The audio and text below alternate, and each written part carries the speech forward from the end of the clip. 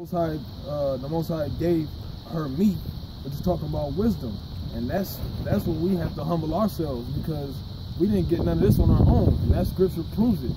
You know, there's, there's many scripture that goes with that, but it says, "I cannot, you cannot obtain wisdom unless the Most High deals with you, unless He comes and sup with you." You know, so hey, we got we got to humble ourselves and know that this the Most High can take it away.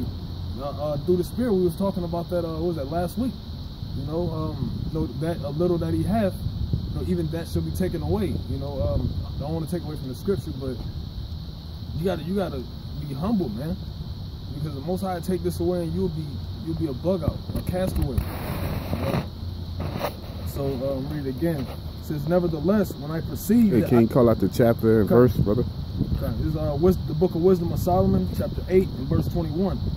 It says, Nevertheless, when I perceived that I could not otherwise obtain her, except the Most High gave her me, and gave her me, and that was a point of wisdom also to know whose gift she was.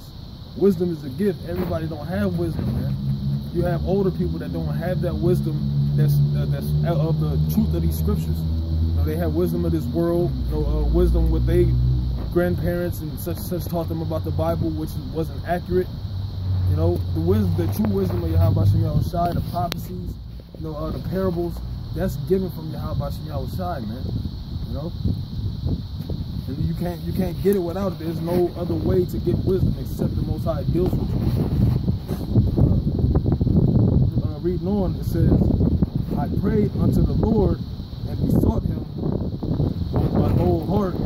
I said, O power of my fathers, uh, and that Lord and Lord of mercy, who has made all things with thy word and ordained man through thy wisdom, that he should have dominion over the creatures which thou hast made. You know, uh, that, that leaked over into the, the ninth chapter. But the point that's the point that I wanted to get in um, Wisdom Solomon 8 and 21, that you can't get wisdom without Yahweh Shai. Alright? So with that being said, give all praise and glory unto Yahawah.